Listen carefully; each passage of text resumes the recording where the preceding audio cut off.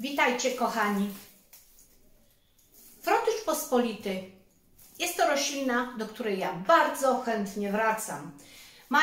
Jest to roślina, według mnie jest to roślina niezwykła, o silnym, korzennym zapachu. Kwiaty tej rośliny zawierają olejki eteryczne. Jest ich tam około 2%, ale w tym jest około 70% tujonów. Znajdują się tu garbniki, flawonoidy, takie jak kwarcetyna, luteina, są sole mineralne, kumaryny.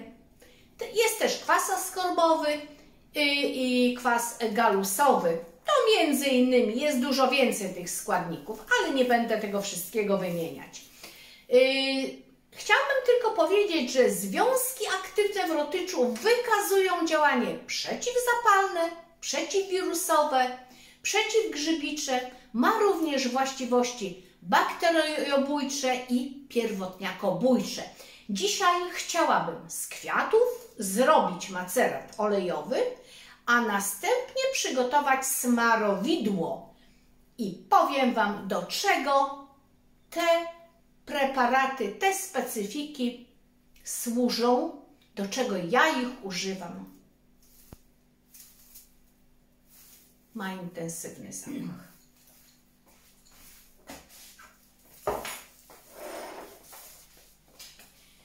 Macerat olejowy z kwiatów w rotyczu robię w, następ, w następujący sposób.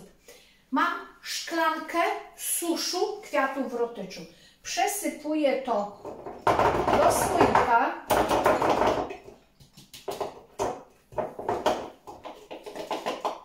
Do tego dodaję 350 ml oleju. Ja dodaję olej extra virgin, oliwę extra virgin. 350 ml.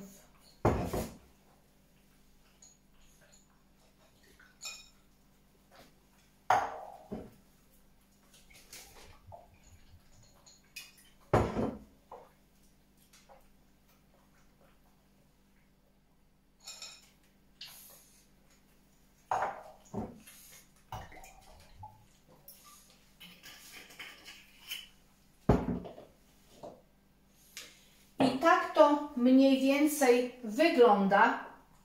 Następnie słoik zakręcam. Słoik zakręcam. Strząsam. I też wstawiam ten słoik do y, kąpieli wodnej. Mam tutaj przygotowaną wodę.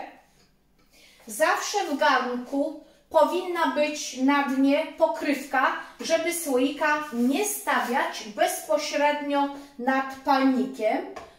Ustawiam tutaj, wody jest tyle, ile oleju, tak równo. Termometr. I musimy pamiętać, yy, ja, żeby nie przekroczyć temperatury 60 stopni oleju.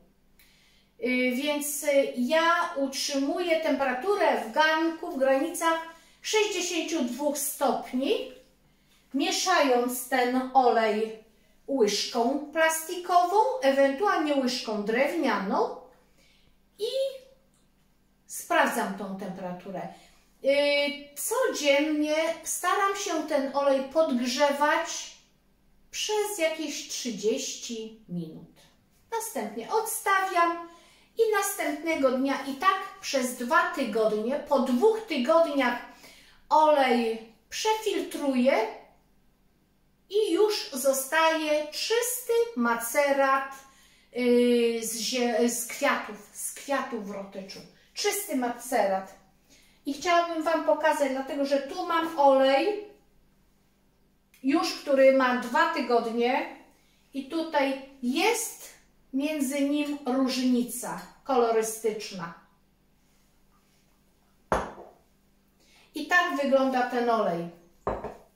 To trwa dwa tygodnie, ale teraz chciałabym Wam pokazać, dlatego że ja jeszcze robię, ja nazywam to smarowidło.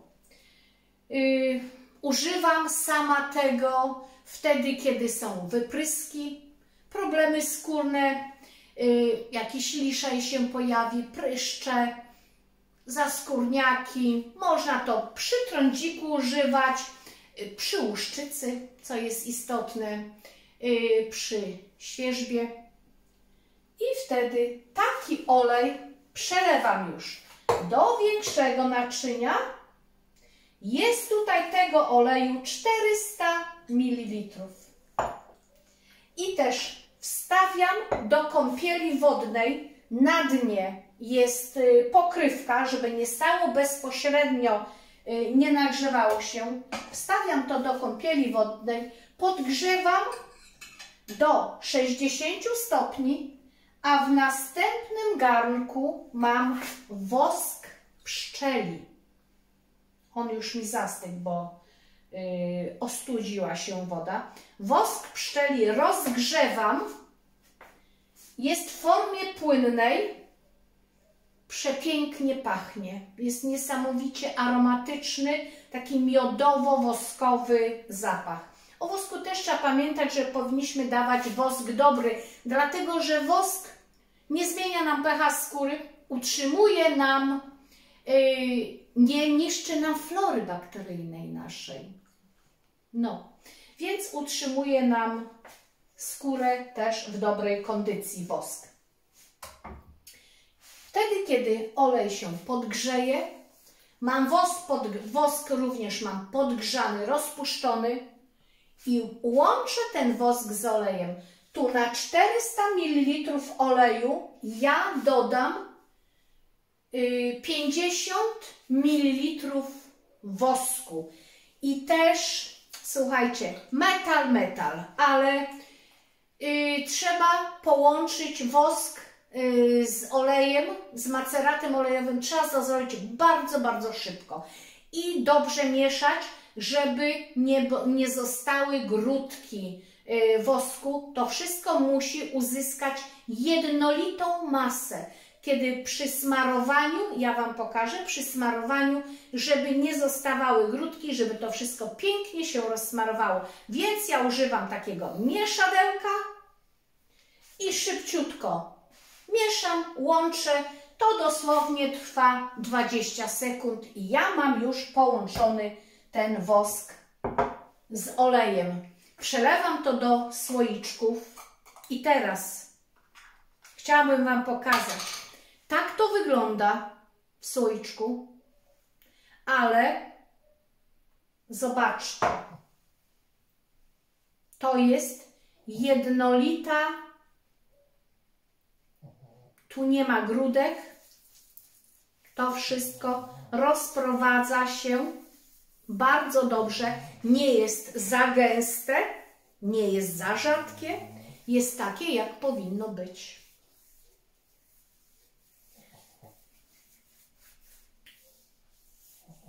Nie trzeba tego dużo smarować, bo jeżeli zrobimy macerat olejowy taki, jak powinien być według przepisu, więc on już będzie miał te swoje właściwości no i kochani, i to byłoby tyle o tym filmie y, na ten temat. Jeżeli macie możliwość, zachęcam, róbcie samodzielnie. Tylko też zbierając wrotycz, bardzo proszę pamiętajcie, żeby, żeby nie zbierać wrotyczu, nie skupić się na jednym środowisku, żeby zbierać wrotycz w różnych miejscach i to wszystko łączyć ze sobą. Dlatego, że jak pokazują badania, on tych y, związków aktywnych w różnym, y, w różnym środowisku on ma różne ilości. Więc zbierajmy wrotycz nie w jednym miejscu, w różnych miejscach. Nie zbierajmy wrotyczu do końca wszystkiego. Trzeba też zostawić, żeby on się rozsiał, żeby miał możliwość, żeby go po prostu nie zniszczyć. I to będzie w tyle.